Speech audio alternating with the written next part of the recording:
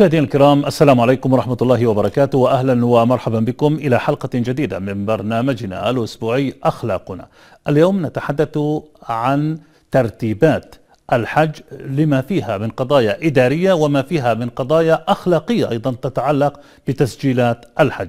ويسعدنا في هذا اللقاء أن نستضيف الأستاذ حسام أبو الرب الوكيل المساعد لشؤون الحج والعمرة ويسعدنا أيضا أن نستضيف فضيلة الشيخ خميس عابدة الوكيل المساعد لشؤون الدعوة. أهلا ومرحبا بكم. أه سنبدأ في الموضوع الإداري مع أخونا حسام. أه أنتم يعني قريبا عدتم من أه المملكة العربية السعودية.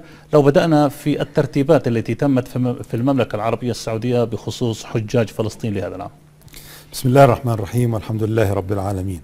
يعني حقيقة أخ محمود وزارة الأوقاف تبدأ في موسم الحج بعد عودة الطواقم من الموسم الماضي. نحن نبدأ في اليوم التالي لعودتنا من انتهاء الموسم السابق نبدأ بالتحضير للموسم الجديد. تبدأ العملية بتشكيل لجنة الحج والعمرة وهنا أود التأكيد أن هذه اللجنة يرأسها معالي الأخ الوزير وتضم في عضويتها الإخوة أصحاب الاختصاص الوكلاء في الوزارة والمدراء العامون وكل من له علاقة في موضوع رسم السياسات العامة لموسم الحج. بعد ذلك يتم عقد لقاء مع معالي وزير الحج السعودي. يتم في هذا اللقاء الاتفاق على ترتيبات الموسم من خلال الأنظمة والتعليمات المعمول بها في المملكة العربية السعودية. كما يتم خلال هذا هذه اللقاءات تقييم للمواسم الماضية. ونحن بحمد الله هذا العام وأحب أن أؤكد أن بعثة الحج الفلسطينية قد حازت على يعني مستوى متقدم جدا من حيث الأداء والإشادة من الإخوة السعوديين. بعد هذا الأمر نبدأ في الحصول على قرارات تشكيل اللجان وهذه اللجان يتم تشكيلها بقرار من مجلس الوزراء بعد أن يتم التنسيب لها من معالي وزير الأوقاف. ونحن قبل أسبوع عدنا من المملكة العربية السعودية بعد أن ذهبت لجنة استئجار السكن إلى المملكة العربية السعودية للتجهيز للسكن. وهذا العام حقيقة كان قرار الإخوة في لجنة الحج وتوجيهات معالي الوزير أن يبدأ الاستئجار مبكرا. وذلك من أجل أن نحصل على مساكن مريحة ونظيفة وتتناسب وت... على المستوى الذي وصلت إليه البعثة في السنوات الماضية. حقيقة اللجنة ذهبت تقريبا في منتصف شهر شباط وعادت قبل نهاية الشهر استطاعت أن تقوم في عملية استئجار السكن في كل من المدينة المنورة ومكة المكرمة بالإضافة طبعا إلى استئجار مقر لبعثة الحج الفلسطينية لزوم العمل هناك. نعم. يعني أنا بهمني قضية أنه ما يميز هذا العام عن الأعوام السابقة بما أنه في تميز لأنه كثير يعني أحيانا نكرر الماضي. في شيء يعني جديد يجد عما كان في السابق ما هو الجديد مثلا؟ يعني حقيقة هذا العام نحن في الأعوام الماضية استطعنا أن نصل إلى مرحلة استئجار فنادق مصنفة خمسة نجوم في المدينة المنورة. وهذا هو الحد الأعلى لموضوع السكن. أنت تستأجر سكن على بلاط الحرم في المنطقة الشمالية. وكافة الفنادق هي ست فنادق تم استئجارها. هي فنادق مصنفة بتصنيف الفنادق خمسة نجوم مع تقديم وجبة إفطار. هذا في المدينة المنورة لكافة حجاج المحافظات الشمالية. في مكة المكرمة نعم هذا العام تم استئجار فندقين اثنين. كافة حجاج فلسطين هذا العام سيكون في فندقين اثنين متجاورين. كل فندق يبعد عن الآخر حوالي 150 متر. وكلا الفندقين يبعدان يبعدان عن المسجد الحرام حوالي الفندق الأول 600 متر والفندق الثاني تقريبا 800 إلى 900 متر. نعم. لأنه في العادة أحيانا يعني بعض الحجاج كانوا في بعض السنوات يشتكوا من بعد المسافة وإنه ممكن يعني فيها تكاليف جديدة عليهم. هذا العام يعني إن شاء الله هذا الموضوع لن يكون هناك وسائل نقل لنقل الحجاج من فنادقهم في مكة نعم. إلى الحرم لأن المنطقة التي استأجرنا فيها أصلا الحكومة السعودية أو الأمن السعودي يمنع تحرك الحافلات بعد أربعة ذي الحجة. وبالتالي سيكون يعني حتى الناس الساكنين أبعد من هذه المنطقة يتم إنزالهم في هذه المنطقة. هي نقطة التحركة إلى الحرم مشيا على الأقدام. نعم. وأنا أتحدث عن 800 متر وأؤكد لك أن أبعد فندق سيكون 800 متر عن الحرم. وأي مواطن أو حاج يذهب إلى المسجد في بلده ممكن يمشي هذه المسافة أو أكثر منها. جميل سأعود إلى قضية يعني تسجيل الحجاج لأنه نعم. بعض الناس بيسجلوا لكن بدي أسمع من سماحة الشيخ في جانب أخلاقي وبعد ديني في قضية تسجيل سماحة الشيخ كثير من الناس وكأن فريضة الحج ليست هي عبادة كالصلاة والصيام وغيرها يأتي ممكن بصراخ ممكن بده ياخذ دور غيره ممكن بده تسجلوني ممكن بده يوسط عفوا يعني حتى يروح يحج يعني العبادة فيها هذه السلوكيات. نحكي في الجانب الأخلاقي والآن إحنا الناس يعني بعتقد فترة تسجيل. تفضل. الحمد لله والصلاة والسلام على رسول الله. آه، وبعد. قال الله تعالى ولله على الناس حج البيت من استطاع إليه سبيلا هذا العنوان الذي ينبغي أن يكون هو الشعار لكافة الحجاج الذين يرغبون أو آه، يتمنون آه، أن يحجوا إلى بيت الله سبحانه وتعالى. وهم يفهمون كذلك آه، ما بني عليه الإسلام. عند قول النبي صلى الله عليه وسلم بني الإسلام على خمس شهادة أن لا إله إلا الله أن محمد رسول الله إقام الصلاة إيتاء الزكاة صوم رمضان وحج البيت ثم أكمل لمن استطاع إليه سبيلا. آه، الاستطاعة عند العلماء هي آه، أكثر من نوع وأكثر من قسم. هي استطاعة بدنية واستطاعة مالية وربما نزيد عليها استطاعة ظرفية آنية حالية ممكن تكون سياسية نعم. ممكن يعني آه، غير ذلك من أنواع الاستطاعة. الحاج هو مشتاق لتأدية هذه العبادة. آه، كونه يزاحم أو يريد أن ينافس أو أن يحظى بدور آه، من أجل الحصول على تأشيرة الحج أن يحظى بهذه الفريضة هي أمنية بالنسبة له. لكن عندما ننظر إلى المسألة من ناحيتين ناحية تنظيمية إدارية وناحية دينية. الناحية التنظيمية الإدارية أنه حظنا إحنا ضمن آه، بروتوكول الذي يوقع عليه ما ذكره زميلي وأخي يعني آه، أخي حسام آه، هو عدد محدود. إذا المساحة العددية المسموح أو التي يفيز لنا بها لحجاج فلسطين. عدد معين هذا العام أظنه بلغ 5800 حاج للضفة آه، المحافظات الشمالية تقريبا. 4100 للمحافظات الشمالية نعم. و2500 للمحافظات الجنوبية. آه يعني المجموع حوالي 6600 تقريبا. آه، لا يمكن أن يزيدوا حاج واحد لأنه هذا نظام نعم. إلكتروني. يعني أنا من خلال تجربتي الماضية كنا نفيز يدوي في السابق. في سنة 97 آه، آه، كانوا يفتحون لنا سجل من عدد كذا إلى عدد كذا وأنا ربما شاركت في آه، التأشيرات للحجاج. زاد معنا عدد حوالي 37 فيزا. في ذلك الوقت أنا أذكر هذا العدد وأضفنا على السجل.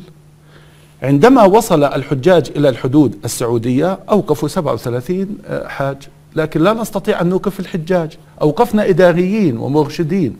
ثم عادوا إلى العاصمة عمان إلى المملكة الأردنية الهاشمية العاصمة عمان. وباتوا يمكن ثلاث أو أربع ليالي حتى استطعنا أن نفاوض وكان خطأ ولا وليس مقصود ثم سمحوا لنا بالعدد. إذا العدد المساحة العددية محدودة. لكن المساحة التي العددية التي يسجلون برغبتهم لأداء هذه الفريضة هي مساحة كبيرة جدا. من خلال هذه المساحة الكبيرة جدا ومن أجل أن يكون هناك مصداقية وشفافية وعدالة. لجنة الحج بتوجيهات سماحة طبعا آه، الوزير وبكافة مشاركة أعضاء هذه اللجنة العليا للحج آه، وضعت آه، بعض معايير. هذه المعايير عندما تنطبق على الجميع إذا هناك عدالة. لكن لن ترضي الجميع لأن الذي حج هو يريد لن يقبل بهذه العدالة حتى يحظى هو بالدور أو حتى يكون هو اسمه من ضمن الفائزين في القرعة. هذه آه، آه، المعايير آه، قسمت حتى إلى قسمين. قسم ارتبط بالسن وقسم ارتبط بالإضافات على السن. بمعنى إنه أعطوا ضمن النظام حوالي 60 أو 65% حتى 70% لكبار السن و30% للمجموع. وبالتالي حتى يكون هناك خليط الضعيف يقويه القوي الصغير يخدم الكبير الشاب القوي يخدم الضعيف وهذه حافلات.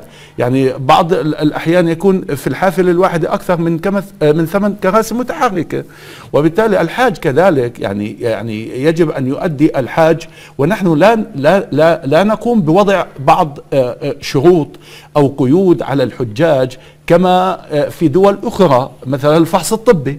بعض الدول آه، تضع فحص طبي ال- الذي لا يستطيع. طب هو لمن استطاع إليه سبيلا؟ وهناك يعني من استطاع إليه سبيلا. الآية والحديث تؤكدان على الاستطاعة. لكن نحن نرى فيهم آباء وأمهات وناس آه، يعني شوكهم عظيم لتأدية هذه الفريضة. هذا يؤدي بنا إلى الحرج. مع ال- المواطنين. من هو المواطن؟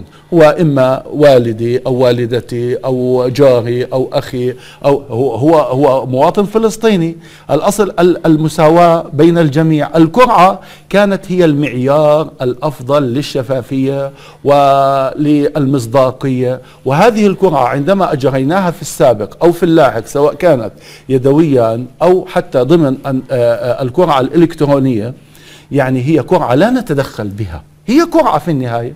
وكانت في السابق عندما تحصل القرعة كان سحب يدوي يحضر هذا السحب اليدوي المحافظ وكان احتفاء مهرجان لأنه هو حقيقة مهرجان.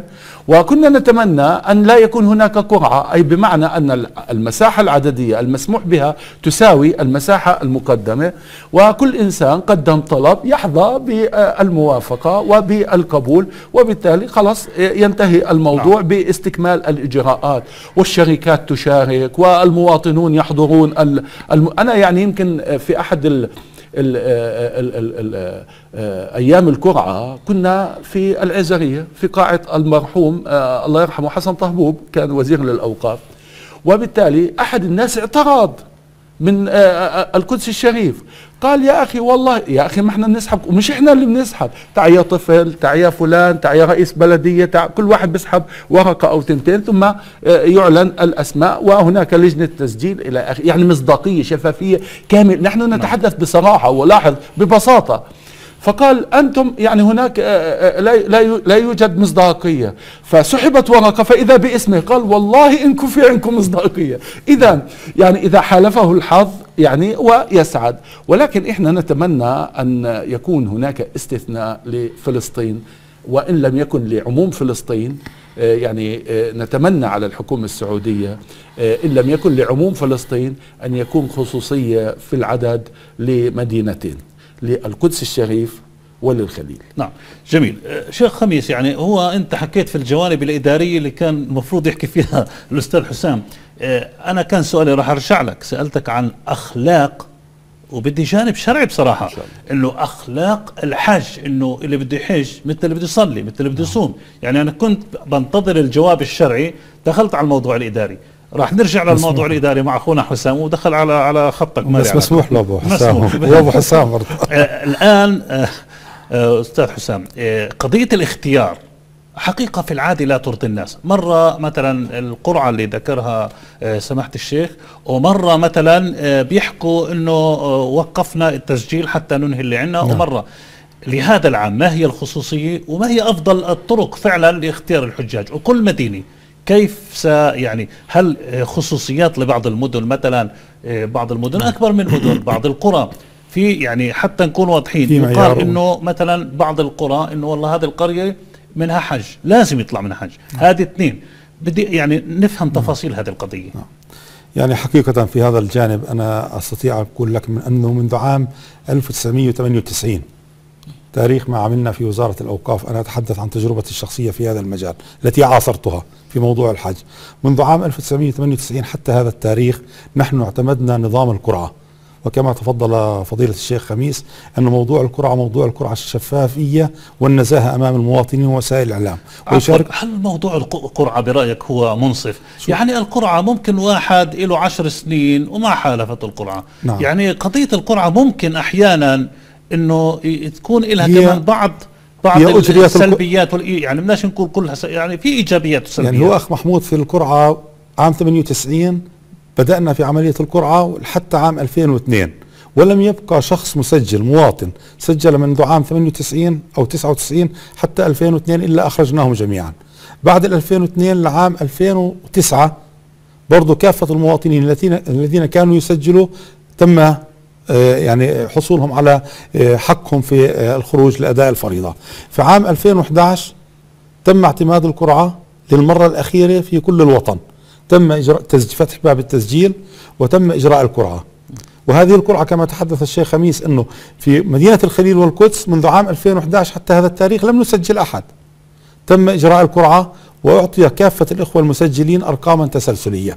بمعنى من رقم واحد حتى آخر حاج مسجل في هذه المحافظة.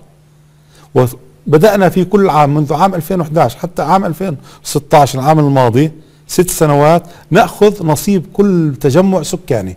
وأنا حينما أتحدث عن البلد لا أتحدث عن المحافظة ككل أتحدث عن كل تجمع سكان. بمعنى أن مدينة القدس لها عدد. الإخوة المواطنين الساكنين في القدس. من يسكن في بيت حنينة له عدد. من يسكن في بيت إكسا له عدد. من يسكن في حزمة له عدد. بمعنى كل تجمع سكاني يتبع إلى هذه المحافظة له نصيب. هذا العدد يتحدد بمقارنة مع عدد السكان القاطنين في هذا التجمع. وهذا العدد نعتمده من خلال الإحصاء المركزي الفلسطيني. وأنا أؤكد لكافة الإخوة المواطنين أنه هذا العام قمنا بمراسلة الإخوة في جهاز الإحصاء المركزي الفلسطيني وطلبنا منهم الإحصاء الأخير لكافة التجمعات السكانية الفلسطينية وسيتم اعتماد هذا العدد مقارنة مع عدد الإحصاء لكل بلد نعم. بمعنى كل تجمع سكاني مسجل فيه عدد مسجل فيه عدد سيتم أخذ نصيبه بناء على العدد الموجود في الإحصاء الفلسطيني. هذه القرعة أجريت في الوطن كافة أعود إلى عام 2011 وتم اعتمادها. منذ سنتين تم شغول كثير من التجمعات السكانية، أنهى الأعداد المسجلة بها. قمنا بفتح باب التسجيل مجددا سنويا. يتم فتح باب التسجيل في هذه التجمعات، أوقفنا عملية أن أن يفتح التسجيل مرة واحدة ويبقى الناس ممنوعون عن التسجيل لمدة عشر سنوات أو ثمان سنوات. يعني هذا هذا العام آلية التسجيل مثلا. هذا العام كيف؟ آخر موعد للتسجيل. سيكون يوم الخميس الموافق 2 3 2017 2 3 2017 سيكون اخر نهاية دوام 2 3 2017 سيكون اليوم الأخير لتسجيل كافة المواطنين في كافة التجمعات السكانية في الوطن. وإذا كان هناك ظروف لأي تجمع سكاني جاهزون للنظر فيه نحن في وزارة الأوقاف والحصول على موقف من الإخوة في لجنة الحج. يعني ممكن بعد هذا التاريخ حالات مثلا إذا خاصة إذا كان, مثلاً إذا كان أسباب مقنعة للوزارة نحن جاهزون لاستقبالها ودراستها من جديد. لكن أنا أقول أن التاريخ المحدد هو 2 3 لأن هذا الأمر له علاقة في البنوك له علاقة في الحاسب الإلكتروني في الوزارة له علاقة بتفريغ موظفينا للعمل في كافة المديريات الأوقاف. نحن فتحنا في كل تجمع في كل مديرية أوقاف مركز للتسجيل أو مركزين تخفيفا على المواطنين من أن يأتوا إلى مقر الوزارة. لكن هذا العام سيتم اعتماد القرعة أيضا لكافة التجمعات السكانية التي فتح بها باب التسجيل. وأقول لك أخ محمود أنه تم فتح باب التسجيل في 310 تجمعات سكانية في كافة محافظات الوطن من شماله إلى جنوبه في المحافظات الشمالية. باستثناء مدينة الخليل ومدينة القدس وبعض التجمعات التابعة لها تم اقتصارها على الأسماء المسجلة من عام 2011 وسنأخذ نصيب هذه البلدات من خلال القرعة التي أجريت عام 2011 والترتيب التسلسلي لكل مواطن سجل في هذا البلد. نعم. جميل. راح أرجع لك في قضية خصوصية القدس تحديدا وغزة كيف ممكن يتم التعامل معها. لكن سمعت الشيخ السؤال الأول ما جاوبتنا عليه لأنه قضية مهمة كثير من الناس عندما يذهب لتسجيل الحج هو يعتقد إنها وظيفة. ويعتقد إنه يعني بده على الدور وبده. فيها قضية بعد ديني بعد أخلاقي. هذا ما أريد يعني أن يصل وخاصة برنامجنا اسمه أخلاقنا. يعني لابد من أن تكون الأخلاق هي الضابط الأول والأخير للي رايح يحج يعني رايح يسلم ما شيء ثاني رايح يسافر على دول شيء ثاني لكن حج هذا. هذه الخصوصية يعني الأخلاقية. ما من شك أن آه هذه المسألة هي آه تبنى على وعي المواطن بالجانب الديني لفرضية الحج.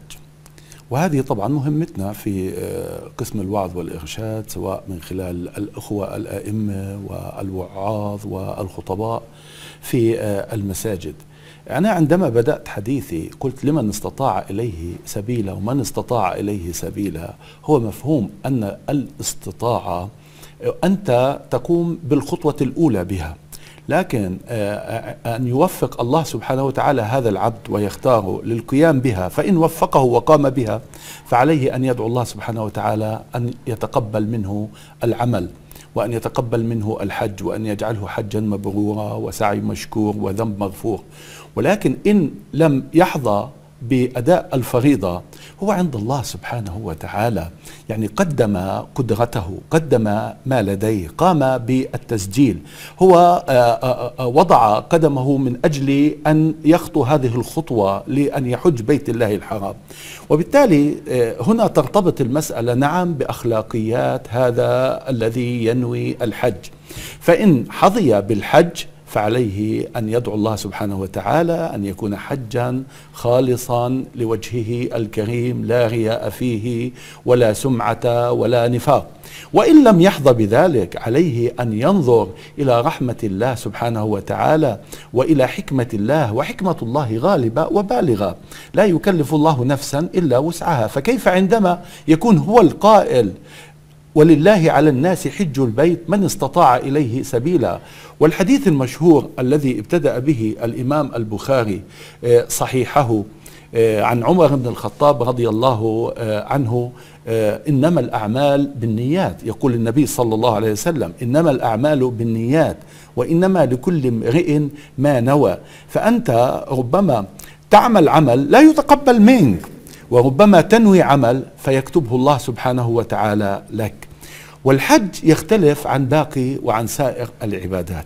فإن وفقت لأداء الحج كما ذكرت عليك أن تكون هذه الهجرة وهذا العمل وهذا الحج خالصا لله سبحانه وتعالى. يعني ممكن يبحث ناس إنه مشان الله شوفونا الشيخ خميس بلكي حجينا هو يحاول. هو يحاول. هل هذه نعم من الدين؟ لا نحن علينا هي قضية الاستطاعة علينا أنا أن نتحدث عن, عن, عن كافة الجوانب. آه، الجانب الأهم في الموضوع والجانب على على العبد المؤمن أن يثق ويؤمن. إذا كان الله سبحانه وتعالى قد كتب له النصيب بزيارة بيته العتيق والحج وأداء هذه الفريضة نعم سيسخر له كافة الظروف. ربما لا تكون الظروف فقط بالتسجيل من خلال وزارة الأوقاف ربما يكون هو آه، ساكن في المملكة العربية السعودية ربما ذهب في بعثة عمل أو تعليم أو آه، حظي بمهمة ما آه، يوفق إلى ذلك. لكن أن يتخطى الرقاب هنا يت... نتحدث هنا عن الجانب الأخلاقي. كما يقول تخطي الرقاب يكون أولا أن نترك كل هذا الجانب الذي تحدثنا عنه الأوقاف كوزارة وكلجنة حج عليا بالتوجيهات العليا. تحرص أن يكون الحج شفاف بمصداقية بمعايير آه، آه، ثابتة للجميع. آه، لكن البعض حتى يريد لو أن حتى لو قبلت الوزارة كيف أنه أنا بدي أقبل أحسن. أقدم أنا عبادي وأتقرب إلى الله وأنا عامل مشكلة. عندما يأتينا أحد الحجاج نعم يأتينا أحد الحجاج يريد أن يتجاوز وأن يتخطى الرقاب. أقول له بمثال آخر بسيط. أولا مثال منطقي مادي ومثال شرعي. المثال المادي أقول له والله اللي سجلوا عندنا هذا العام بلغوا حوالي 18500 إلى الآن. نعم. يعني أنا سألت أمس نعم. عن العدد وما زال طبعا التسجيل حتى يوم الخميس كما ذكرت آه، آه، أخونا. اللي بيحصل بقول له هذه كاسة المي بتسع 200 CC مي. لكن المشكلة إنه الإبريق فيه ألف وألفين. مهما صبيت فيها ماء أنت بدك يعني يعني إن تتخلى نقطة من آه، هذا الكأس عن موضعها ستصب فيه نقطة أخرى ولكن في النهاية هم 200 أما القضية الثانية بقول له أنت تصلي والحمد لله رب العالمين. نعم أصلي. طب دخلت المسجد أنت متأخر عن الصلاة يعني مسبوق. فيعني تحاول أن تضع يدك تؤشر إلى من هو في الصف آه، المكتمل حتى آه، يعني آه، يصف إلى جانبك فلا تكون وحيد في الصف خلف الصفوف. نعم يقول نعم تعلمنا ذلك. طب أنت يعني حاولت أن, أن تؤشر له بيدك أو تربط له على كتفه فهو يرجع. هل يجوز أنك تصف مكانه؟ لا ما بزبطش. وبالتالي أنت عليك أن تحاول. وأفضل محاولة أن تلتزم بالقوانين بالمعايير حتى تقول نعم. إلهي أنا حاولت ولكن لا أتخطى رقاب الناس وسماحة الشيخ يعني قبل الحج أليس مطلوب من الحج أن يتسامح مع الناس ويتصالح مع الناس هذه يعني كنا نتعلمها ونحن نعم. وصغار أنه بصالح الجيران نعم. طيب هو بزاعل الجيران وبزاعل الأوقاف وممكن يزاعل أمه أو الأم تزاعل ابنها بدها تحج غصب عنه والتكاليف منه؟ وقضية الاستطاعة يعني باب واسع صار معنا مقام نحكي فيها لأنه بعض الناس بده يحج بده يحج وكأنه عبادي ولا هي طوشي أنا ما بعرف. يا أخي الولد يتنازل لأبوه إحنا موافقين في الوزارة ما عندنا مشكلة يتنازل لأبوه. تنازل القضية الاستطاعة لها قضايا كثيرة وإنه الإنسان يتسامح ويتصالح. هو بيقاتل الأوقاف وبده يحرج الشيخ خميس ويحرج الأستاذ حسام وبده بده بده حتى يحج. هنا قضية أخلاقية. خلينا نحكي شوي عن القدس و- وغزة. لهذا العام إيش ترتيباتهم؟ القدس يعني هي عاصمة. للعالم الإسلامي أنا بعتبرها ليس فقط عاصمة فلسطين. وغزة لها عادة يعني بندخل في سجال طويل عريض أحيانا في غزة. كيف ترتيباتهم هذول التنتين يعني نتحدث عن موضوع القدس آه، أولا. نعم. يعني موضوع القدس هي بالأهمية التي يعرفها الجميع بالنسبة لشعبنا وللأمة الإسلامية الأصل. نحن في وزارة الأوقاف آه، نعطي القدس أهمية خاصة وبتوجيهات عليا من آه، سيادة الأخ الرئيس أبو مازن حفظه الله من دولة رئيس الوزراء ونعمل كل جهدنا على تلبية احتياجاتها قدر الإمكان في موضوع الحج آه، التجمعات السكانية في القدس الشريف تأخذ حقها كاملا بالإضافة أن هناك في كل عام مكرمة من السيد الرئيس خارج القرعة يتم تنظيمها للإخوة المرابطون في آه، المسجد الأقصى المبارك بمعدل 50 مقعد. هذه سنة لها عامان ويتم إعطائهم لها. في موضوع آخر آه، معالي وزير الأوقاف منذ سنتين أو ثلاثة وجهنا أكثر من كتاب إلى الإخوة في المملكة العربية السعودية لتخصيص عدد من المقاعد خاصة في القدس الشريف. وهذه مقاعد مدفوعة تكون من المواطنين. نحن هذا العام قدمنا كتاب إلى معالي وزير الحج وإلى الجهات آه، الرسمية في المملكة العربية السعودية. نأمل إن شاء الله أن يتم التجاوب مع هذا الكتاب وإذا ما حصل سنزف هذه البشرى إلى أبناء شعبنا في حينه. نسأل الله سبحانه وتعالى التوفيق في هذا المجال. في موضوع آه، قطاع غزة غزة هي جزء من هذا الوطن العزيز. غزة لها من الأهمية في وزارة الأوقاف وفي كافة وزارات السلطة الوطنية الفلسطينية الأهمية الكبرى. نحن في غزة نعمل من خلال لجنة الحج والعمرة التي تم تشكيلها من آه، سنوات ماضية. وهذه اللجنة تعمل بتوجيهات أيضا من معالي وزير الأوقاف وتتبع إلى الوزارة مباشرة. آه، يتم ترتيب الأمر بها بالتنسيق المباشر. نحن نقوم بتوجيه الإخوة لاستئجار السكن وفي بعض السنوات إذا لم يستطيعوا الخروج نخرج اللجنة من المحافظات الشمالية وتقوم بعملية الاستئجار. هذا العام أيضا تم توجيه الإخوة سيغادروا إلى الأراضي السعودية لاستئجار السكن. أيضا موضوع التسجيل بها أيضا من السنوات الماضية حين ما ينتهي الأعداد المسجلة لدى الحاسوب في وزارة الأوقاف سيتم فتح باب التسجيل فيها مرة أخرى. وأكد لك أن الإخوة في غزة في موضوع الحج وغيره هو موضع اهتمام ومتابعة من قبل الوزارة وإن شاء الله سنقوم بتأدية الأمانة التي أوكلت إلينا على خير القيام إن شاء الله. جميل. راح أرجع لك في موضوع آه، ال- المنح اللي تعطى عادة للشهداء للأسرى للجرحى. هذه الخصوصية فيها بعد أخلاقي وفيها كمان يمكن إشكالية نعم. لكن بدي أدخل على خصوصية بعثات ال- المرشدين آه، سماحة الشيخ. يعني المرشدين حقيقة هناك شكاوى كثيرة ونحن نتحدث الآن في بعد أخلاقي أنه المرشد يجب أن يكون مرشد وليس بحاجة إلى من يرشده. هناك من يكون ضعيف ممكن يعني في الإرشاد. هناك من ذهب للتجارة. حقيقة له ليشهدوا منافع لهم يعني بتيجي كمان. ولكن هناك بعض الشكاوى إنه والله المرشد ما شفنا. المرشد والله ضعيف. المرشد كيف يتم اختيار المرشدين؟ على أي القواعد؟ على أي الأسس؟ حتى يكون الناس مطمئنين إنه يعني القضية هناك يعني شعار بين الناس. تحملني فيه. إنه روح في موسم الحج. وزارة الأوقاف تلقاها فاضية. وينهم؟ كلهم بالحج. تفضل. الحقيقة كذلك هذا من آه، المواضيع التي آه، تحظى باهتمام لجنة الحج العليا وباهتمام آه، سماحة وزير الأوقاف بشكل خاص. لا يوجد عمل منفرد في الحج. هذه قضية يجب صحيح. أن تكون أكيدة. بالنسبة لأي إنسان سواء كان مشاهد إلنا الآن أو مراجع للوزارة أو حتى باحث أو مطلع أو حتى ديوان الرقابة العامة أو أي حتى أنتم كذلك كإعلام. آه، الحج نحن نعمل آه، لسنا شركة حتى نعمل آه، يعني بالسوق السوداء أو إنما نحن نخدم المواطنين. شعارنا واضح خدمة الحاج شرف لنا. أخلاقيات الحاج إذا كنا نعلمها للناس باعتبارها آداب أن تكون الهجرة لله أن يكون المال حلال أن لا تزاحم الآخرين في, في التسجيل أن آه، لا تبغي به السمعة والرياء أن تسامح هذه آداب عامة والحقيقة نفرد لها سواء من خلالكم أو من خلال المساجد. يعني كما هي في الأعوام السابقة ندوات ومحاضرات ولقاءات وبرامج إلى آخره. فالأولى أن تكون بالوعاظ والمرشدين. اولا آه، ما الهدف من من أن يكون هناك مرشد أو واعظ مرافق لحافله أو لبعثة الحج؟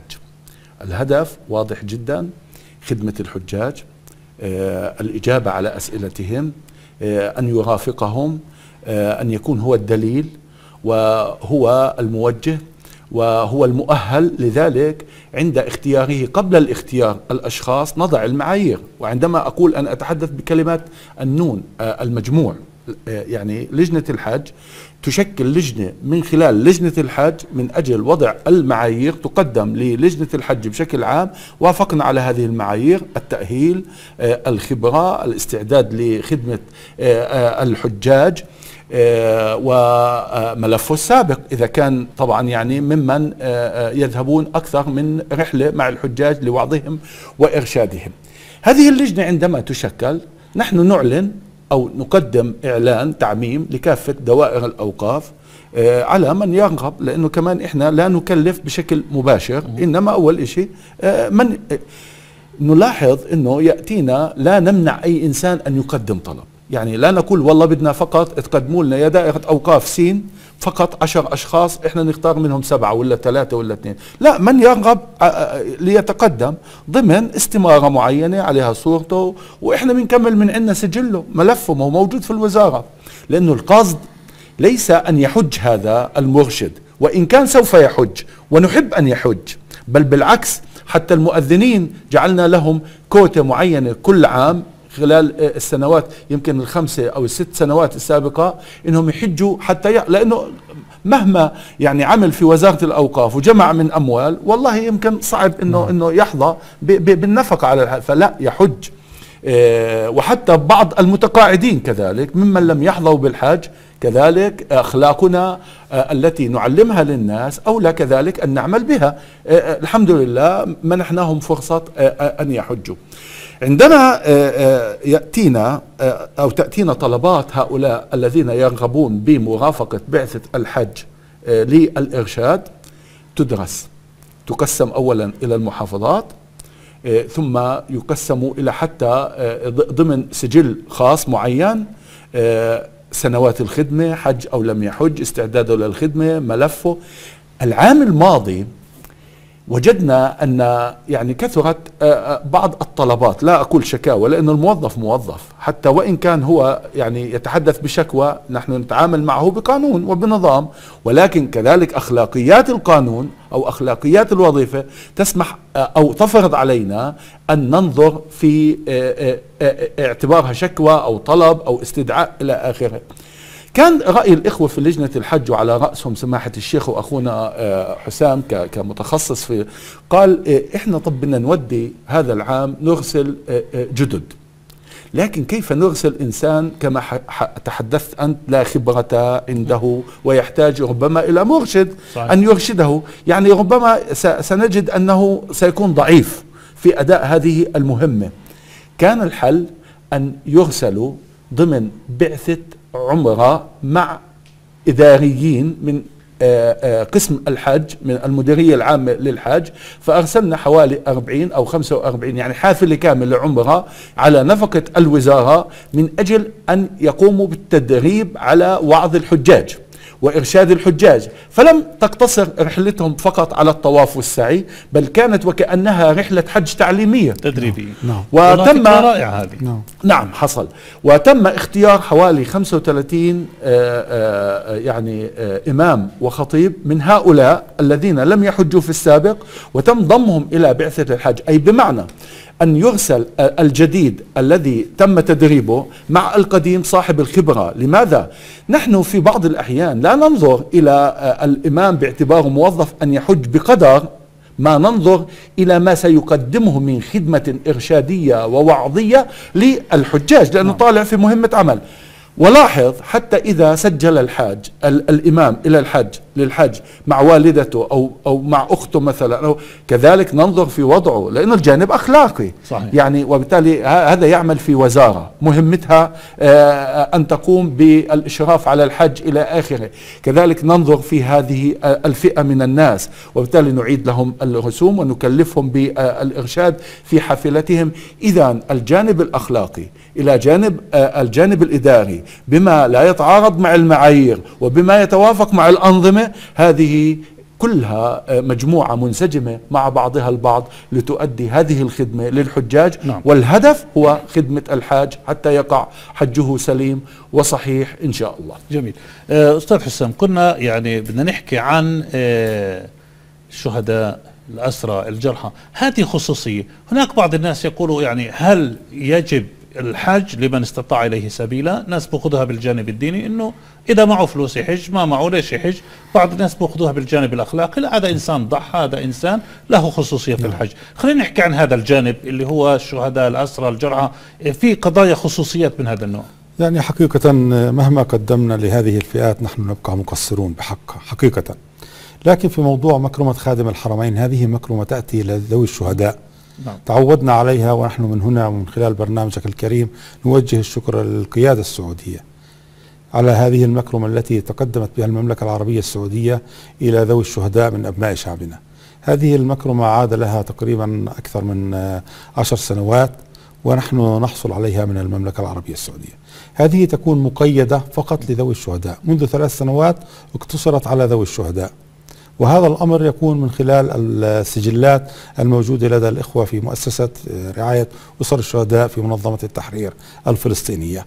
ويتم توزيعها على كافة المحافظات بنسب حسب على ما أعتقد حسب تاريخ الاستشهاد أو العمر. هناك يعني مجموعة من المعايير تضعها مؤسسة رعاية أسر الشهداء وتقوم بتنسيب هذه الأسماء والموافقة عليها ويتم خروجهم من خلال هذه المكرمة. أضف إلى ذلك هناك بعض الحالات الإنسانية. أنا أقول لك القرعة هي الفيصل في نعم. خروج الحجاج. حالات لكن المرضية في سنة من السنين كان لها دور نعم في, في نعم وأنا أنا أنا سأقول لك. نعم. نحن في وزارة الأوقاف والشؤون الدينية وحسب النظام الأساسي الموجود لدينا هناك هامش حتى 10% يمكن أن تخرج حالات إنسانية واستثنائية من خلال هذه الملفات التي تصل إلى الوزارة وتعرض على الإخوة في الإدارة العامة للحج والعمرة ويقوموا بالتنسيب للجنة الحج والعمرة لاعتمادها. وهذه تشمل في بعض السنوات أصحاب الأمراض شافنا وإياكم الله وشاف الإخوة المستمعين منها أمراض صعبة وخطيرة صحيح. يتم النظر إليها بقدر معين. بعض الحالات الإخوة والمواطنين الذين يعودوا عن الجسور وتمنعهم سلطات الاحتلال من السفر ويتم السماح لهم فيما بعد يتم إعطائهم هامش. بعض الإخوة الذين يكونوا في السجون, في السجون وخرجوا ولم يستطيعوا التسجيل في فترة التسجيل يتم إعطائهم خصوصية. هناك مجموعة من المعايير نحن لا نخفيها. ونتحدث بها في العلن ونقف أمام مسؤوليتنا أمام كل حالة من هذه الحالات ونستطيع أن نقول أن وزارة الأوقاف لديها من الشفافية في هذا الموضوع حتى تستطيع أن تعلن هذه الأسماء والخصوصية الخاصة بها.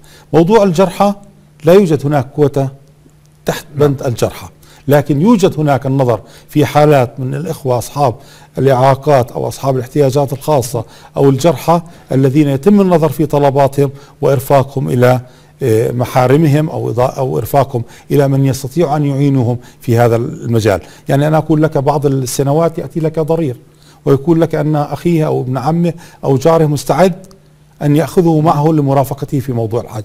أنا من خلال هذا البرنامج أقول لم تأتينا حالة بهذا الجانب إلا وساعدناها. حتى على مستوى الموظفين كذلك. حتى على مستوى الموظفين، هذا الأمر داخل لجنة الحج يتم النظر فيه، ونحن نعمل في هذا الموضوع، ولكن هذا الحجم من هذه الحالات كبير جدا حجم كبير ومهول والكل يتشوق لأداء فريضة الحج ولكن أيضا ما هو متاح لنا أيضا محدود أنت تتحدث عن حالات وطلبات كثيرة يعني الأولوية. نحن نتحدث في كل عام نعم. نستطيع أن نخدم مجموعة يعني الحالة الأصعب تقدم نعم. على نحن نستطيع أن نخدم فئة كبيرة في كل عام هناك بعض الأخوات التي تكون قد فاتها قطار الزواج وموجودة مع والدها في البيت ووالدها خرج له مجال للحج أو والدتها وتريد مرافقتهم بعد وفاة والدها ممكن أخوها ما يحججها. وهي غير متزوجة وليس لديها أولاد. نقوم بإضافتها إلى طلب والدها. ونحن نعلن ذلك في كل عام. هناك حالات يتم تسميتها إضافة وإرفاق للمحارم. يعني الجانب الأخلاقي والإنساني نعم. هو نعم جانب نحن بشر. هام في هذا نحن. بشر. ونحن نتصرف ونتعامل ونجتهد في تحقيق المصلحة. وديننا الحنيف يفرض علينا ذلك. وأخلاقنا الإسلامية تحتم علينا التعامل مع الحالات ولكن أن تستطيع أن ترضي كل الناس هذا أمر صعب. ولكن في كل عام تستطيع أن تقدم المعونة والمساعدة لفئة من هذه الشرائح التي تحدثت حضرتك عنها. وأنا أقول في موضوع الأسرة لا يوجد هناك يعني في قبل حوالي أربع خمس سنوات كان هناك منحة أو مكرمة من المملكة العربية السعودية مكرمة الشهداء والأسرة. منذ نعم. ثلاث سنوات اقتصرت على ذوي الشهداء.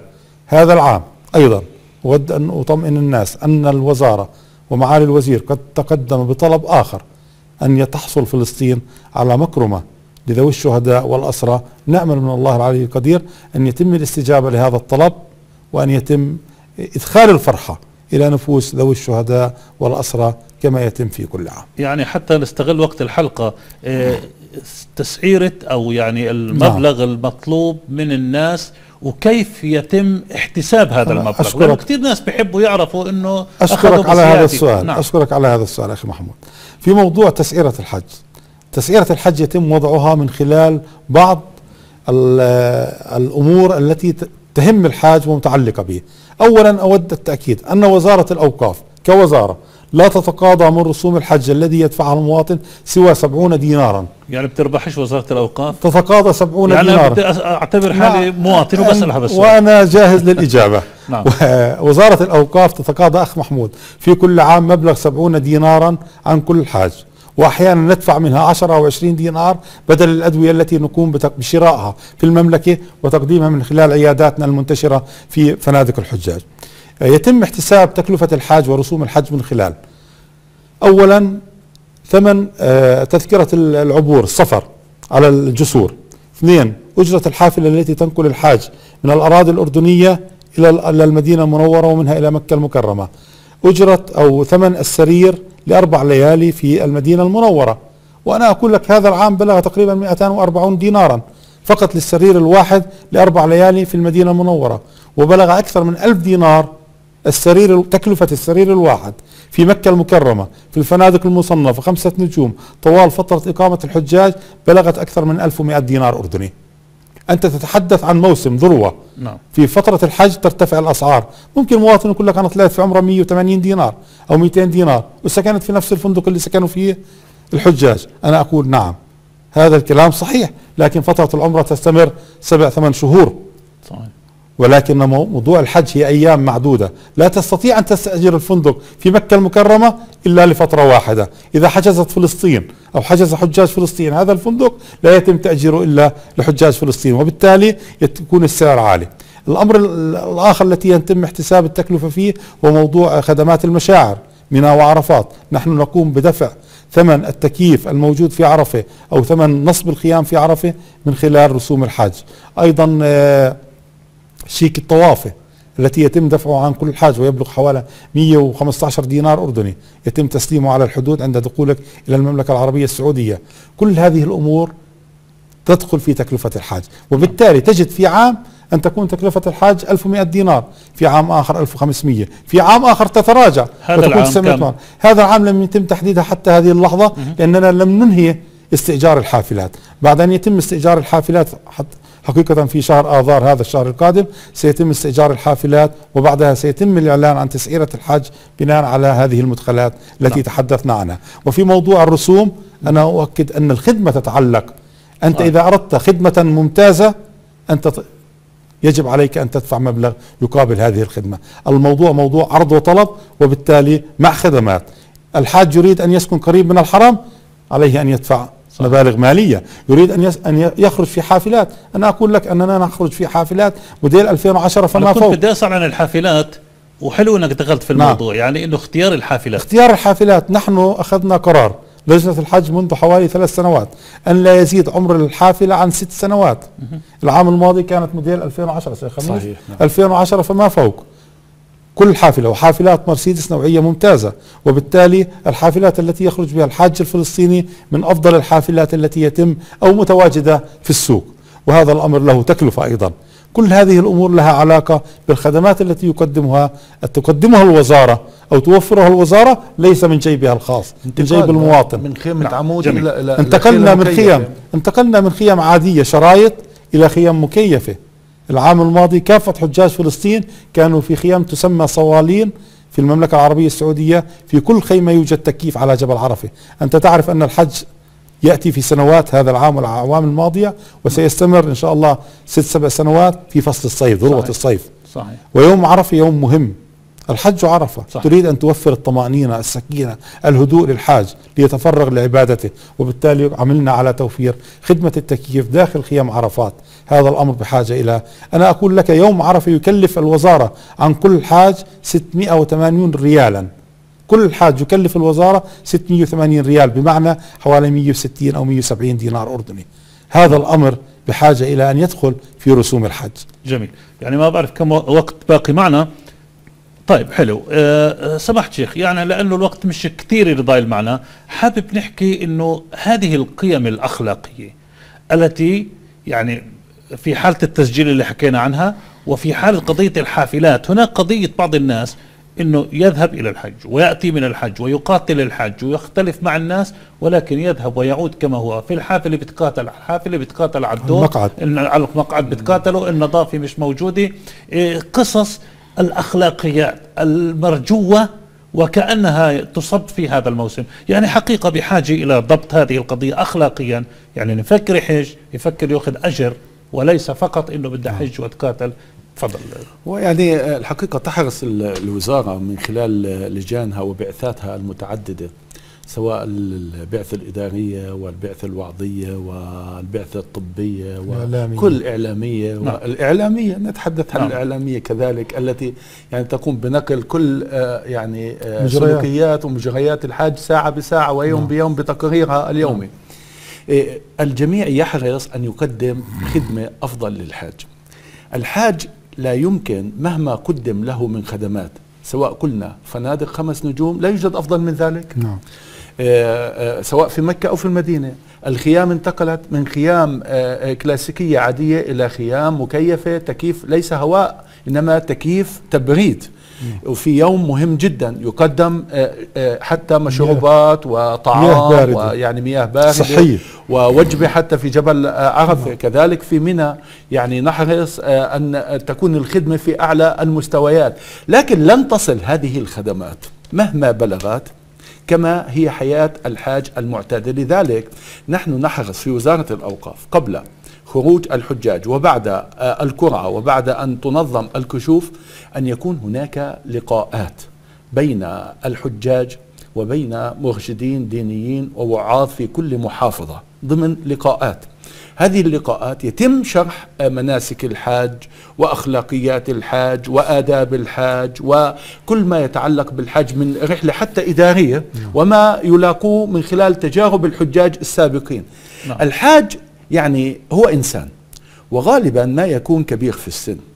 هو له احتياجات. ليس من السهل أن يجلس في مقعد الباص أو الحافلة آه، 20 أو 30 ساعة. معانا دقيقة. في شيء مهم ما حكيناهوش حابين نحكي. إذا هي الدقيقة. أنا بدي أقسمها بيني وبين زميلي. بالضبط. حط- يعني ممكن في شيء حابين فأ- تحكوا. فأود أن أختم أن الحج هو رحلة دينية. نحمد الله سبحانه وتعالى أولا على آه، يعني قضى لنا وكتب لنا أن نؤديها وثانيا آه، أن نشكر لأهل آه، الخدمة خدمتهم سواء كانوا الشركات المخلصة التي تقوم على خدمة الحجيج وكذلك وزارة الأوقاف المشرفة والتي والتي تعتبر أن خدمة الحاج شرف لها والتي هو أمانة كذلك وواجب أن نعم. تخدم آه، آه، الحاج فيه وندعو الله سبحانه وتعالى أن يكون هذا العام عام مميز كما هي الأعوام السابقة التي حصلنا بها على الدرجة الأولى نعم. على مدار أكثر من من, من, من, عام نعم. وهذا العام يكون كذلك بهذا نعم. المستوى بنص دقيقة أستاذ حسام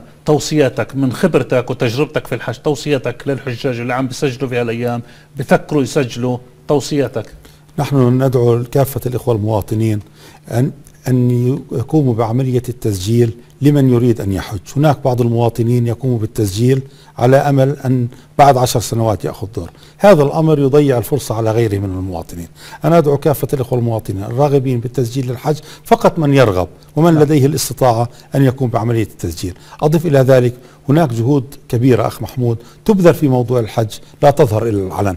نحن نعم. نعمل زي كما يعني أسلفت نحن نعمل طوال العام للتحضير لهذا الموسم. وانت تخيل أنك حينما تريد أن تخرج برحلة مع عائلتك وأولادك تبذل جهدا. صح. فما بالك أن تخرج ست سبع آلاف مواطن إلى بلد آخر نتيجه مختلفة تقوم على يعني تقديم الخدمة لهم. هذا الأمر بحاجة إلى تعاون صحيح. من كافة والأجر على قدر المشقة. للأسف يعني وقتنا انتهى. أشكر جزيل الشكر الأستاذ حسام أبو الرب الوكيل المساعد لشؤون الحج والعمرة وأشكر فضيلة الشيخ خميس عابدة الوكيل المساعد الموعد للوعظ والإرشاد. شكرا جزيلا لحضوركم الطيب. أشكر المشاهدين الكرام على حسن المتابعة. السلام عليكم ورحمة الله وبركاته.